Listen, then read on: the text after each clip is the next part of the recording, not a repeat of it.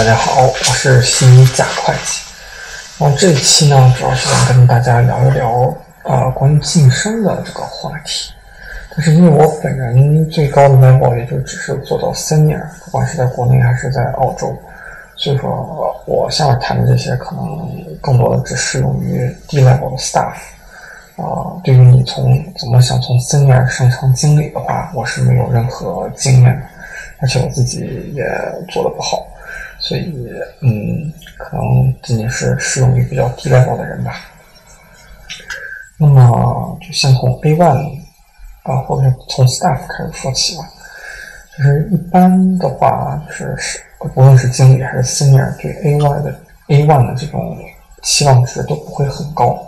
所以说，如果你是学会计的话，你是非常容易这种做出超出预期的事情来的。啊，可以从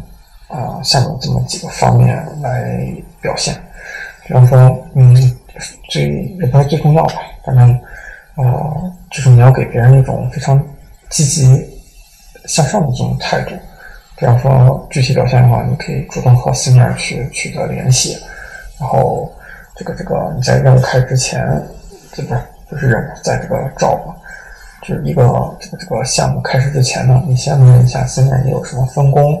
然后你先跟这个 senior 沟通一下对自己的 expectation，就期望是什么。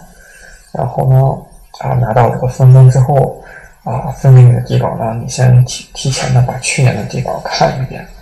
然后你有什么不懂的问题呢？你要及时的去问这个 senior。你就是千万不要把那些问题全都 hold 在自己手里，然后最后发现做错了，或者说来不及了，然后。那这样就得不偿失了。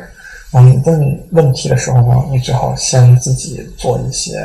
这个这个 research。比方说，最不济的，你可以去谷谷歌一下，或者去百度一下。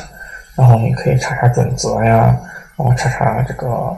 呃内部的一些规定啊什么的。然后你把你的问题给啊，而且最好是把你的问题稍微总结一下，一起去问啊这个 senior。然后说到这个总结，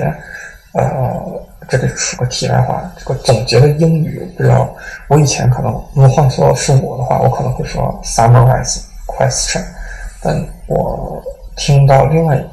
听到一个别的这个 assist 一个 assist manager 说这个 A one 说的时候是用 accumulate，呃，can you accumulate your question？就当时那个 A one 也是有什么问题就问，有什么问题就问，可能最后也把那个呃 AM 给。问烦了，然后他就那个 AM 是用 accumulate 来表达这个啊总结这个问题的这么这么一个意思。哦，这有点扯远了。然后再回到这个这个这个 ai 啊，就是或者说是 staff 怎么表现的问题上来说，那么这个这个嗯，还你还啊需要做到的就是，你比如说你给客户的这个邮件，那个用语你一定要正式。不能太口语化，不能没头没尾的，就是，呃，但是也不用特别，就是说说什么尊敬啊，什么什么什么，啊，就可以直接说什么，然后找不着，您好等等之类的，然后结尾说谢谢，呃，或者非常感谢，对吧？然后你交给 senior 东西之前呢，你最好自己要先这个读一遍，先 check 一遍，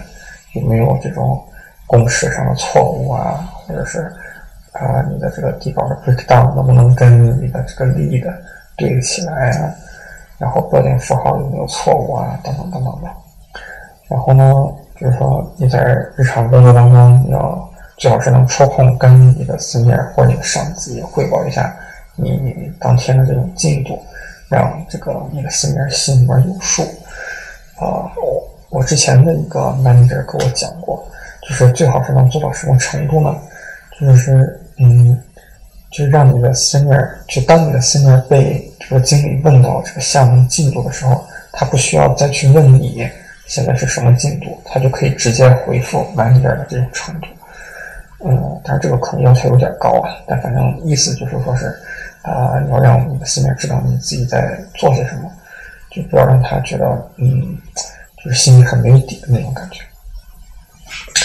然后呢，就是你还可能会遇到一些就是嗯问题是是 senior 讲不明白的，这个可能跟 senior 水平或者是表达能力有关。然后呢，你可以尽量自己总结出一些啊，比方说清晰的一二三四五，然后这几个步骤，然后跟你的这个 senior 确认一下，然后避免啊。然后，并且把你就在执行这一二三四五的过程当中遇到的一些新的问题，再去跟这个 senior 说，然后就是避免，呃，就是呃，因为有的 senior 就是说，或或呃，就可能他态度不好，或者说是这个情况比较紧急，他们就会说那两句，就是说这个问题我之前不是讲过吗？为什么你还错？但实际上，其实你错的已经是一个新发生的问题了，而并不是他之前讲过的。所以说，嗯，总而言之，就是沟通，呃，是一个非常重要的一个一个一个事项。然后，呃，除了上面说的那一点之外呢，然后，嗯，如果你是个 staff 的话，你还可以稍微观察一下，啊，就是哪些经理比较有话语权，呃，或者通俗点说，就是，呃，在他面前比较红，比较讨老板喜欢，然后你去抱他的大腿。然后这样的话，争取做他们的项目，因为如果他们有很很强的话语权的话，他们在那个最后的小黑会上，就是 round table，啊，round table 或者小黑会的意思就是说是我们每年会进行一次这种啊，给每个 staff 进行打分儿，从五分到一分，五分是最高，然后一分可能没有一分，可能两分的时候就会面临被劝退的这种危险。然后这个这个 round table 和小黑会上就是对每个人进行打分，然后呢，他们会在小黑会上比较有话语权，就会会评你，然后对你将来这种晋升会比较有帮助。嗯，然后或者你还可以观察一下哪些项目的这个 senior 经常会升经理。呃，就比方说，嗯，基本上你可以确定这个项目从历史数据来看，只要带了这个项目。大概的意思就是说，你只要成为这个项目的 FIC，你基本上，呃，到年龄肯定就会提升你为经理，那么你就争取做这样的项目。然后这个是主要是针对 A one 或者说 staff 想到的几点，嗯，然后剩下就比较这个这个窄点儿一些了。然后关于这个情商，呃，这一点我觉得是比较宽泛的。这么一个话题，然后对情商呢也有不太一样的定义。然后我个人理解的话，这个情商就是通俗说就是招别人喜欢。然后，嗯，但每个人都喜欢不同的人啊，所以说这个也没有办法说。但是我觉得最不济的话就是你别招别人烦。然后最最最最最最最不济的话，你不要招所有人的烦。这个，嗯，一个比较基础的话就是。我觉得你需要控制好你的情绪，嗯，就是招人烦的话，你尽量能不说，尽量别说，啊，就比方说，你有时候可能会，你你在引用别人工作的时候呢，啊，我觉得你可以把它想象成这个工作是公司的，而不是你自己的，就你可以给别人指出这个问题，就是别人犯犯的错误。但是你没有必要朝别人宣泄你的这种不满的情绪。然后呢，呃，你作为一个，就是你作为这个高 level 的时候，那么你作为一个下属的时候呢，你可以提出你自己的这种困难，然后或者说是提出你自己的理解，但最后领导说啥你就去做啥，因为毕竟是这个这个是你领导担责任，而不是你去担这个责任，所以说。嗯，你要你只要需要让他明白你有哪些困难，但是领导说啥你还是干，呃，领导说啥你还是去做啥，不要和领导去顶撞，这是这个这个我理解的对情商中最低的这么一种呃这个这个这个理解吧。然后关于这个 technical，就是这个技术，我觉得多少还是应该看一看这些常用的准则。然后你不能有什么事儿就总问经理，或者说你总去问一些非常肤浅的问题，嗯，然后但是可能呃不做审计的可能会觉得很惊讶，就是难道我们做审计的不都看？难道啊就是不看会计或者是审计难道不看会计准则吗？其实是就我之前那期也讲过，就是呃，可能有些即便当经理的他也不一定非常会懂一些会计处理。就是因为我们四大是有一套非常完善的这么一个体体系嘛，就是你作为这个这一条类，呃，这条食物链的任何一端。你基本任何一个一个环节遇到不懂的问题，或者你处理不了问题，你都是可以通过你的上级或者说是其他环节的人找到答案的。所以说呢，啊，你就如果说你只是在这一个一条食物链里面不停一点点的一点点往上走的话，其实你的并不需要你的 technical 有多么的好，可能更多的是能嗯有执行力。就是把上面交给你的任务完成了就可以，但是你自至于你需不需要有完成你自，但是至于你自身需具不具备需要有啊完成这项任务的所有能力的话，这个其实是不一定的。但是呢，刚才上面说了这么多，我感觉最最最最最最最最最最重要的还是就是需要啊有客户资源。但是这个又不是所有人都能做得到的，只能看这个，嗯，是否生在帝王家吧。嗯，所以，但是如果说话，如果说你有这种客户资源，或者说潜在的客户资源的话，我觉得你能，至少是在关键的时候你能用，你还是一定要用的。因为我感觉可能，嗯，人生改变命运的点可能就可能会很多，所以说，嗯，如果有关系的话，最好还是。在关键时候还是用一下。然后，如果说是就是像我这样的贫贫困百姓来说的话，那么我觉得去晋晋升最重要的还是在上面有人要挺你。就是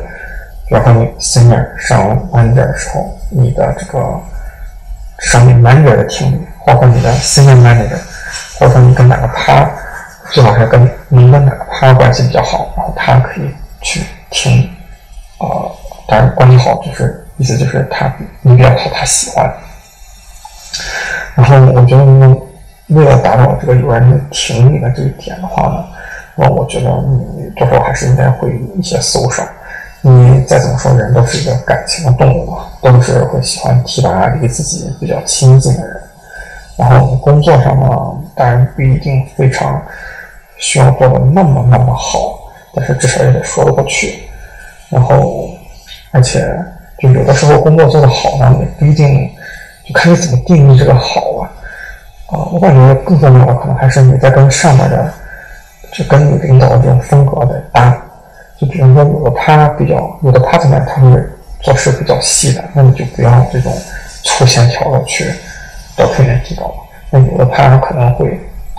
我我记得我忘了这个是，应该是很早以前我听谁还。是在哪看到的这么一个比喻？就是说，如果说这个他觉得这个工作可能需要一个星期做，那你就不要呃两天的时候就给他，因为这样肯定就是会让他觉得，嗯，你没有就是认真的去做这个工作，或者你有没有发现了呃，就是尽你的本分去发现所有应该发现的问题等等之类的。但是不管怎么说吧，这个靠馒头苦干这种加班。呃，就妄图以这个作为唯一的这个晋升的资本的话，我觉得啊，别的不敢说，呃，至少可以看见就是你将是走一条非常非常累的这么一条道路了，呃，呃，非常非常累的这种道路的，因为你可能二十岁，呃，对我来讲，就如果二十岁的时候可能还是啊能去拼一拼，但是你过三十之后，就会明显的感觉。这种加班熬夜是一种非常恶心，可能从你这种，啊，不知道是哪儿啊，就可能是脑垂体啊，还是什么什么哪些地方肾上腺啊这种器官分泌了不知道是什么的这种化学元素，就会让你非常从内心里面开始抵触这种这种加班，嗯，而且就是无论什么活儿也不可能干到百分之百的完美的。即便就是你二十四小时不睡觉，然后你去想把这个底稿做得非常非常完美，但是我觉得只要别人想挑这种错的话，总是会有的。所以说，嗯，他们总是会给你提出一些就是呃改进的一些富有建设性的那么一种意见，然后去安慰你，就是下次努力。所以说，当然只是我个人的理解啊。嗯，那么今天就跟大家分享到这个地方吧。